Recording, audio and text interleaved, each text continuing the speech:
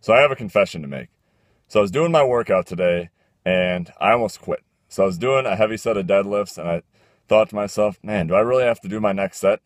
Then it dawned on me, well, if my goal is to get stronger, yes, I do. So in reality, I think strength training is oftentimes a metaphor for life.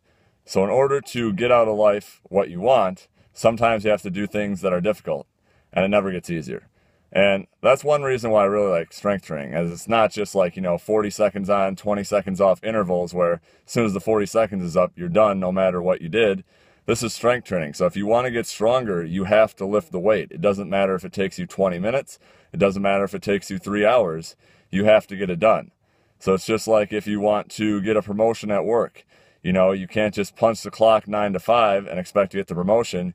You might have to put in some extra hours that you don't get paid for and really show your value. Um, if you want to lose weight or build muscle, you can't just show up to the gym. You have to put in the work.